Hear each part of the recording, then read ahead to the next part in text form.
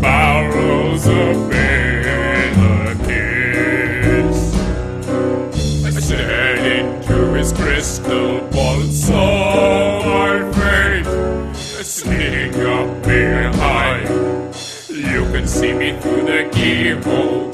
You can see my coffin, this rusty cell that has me trapped inside it.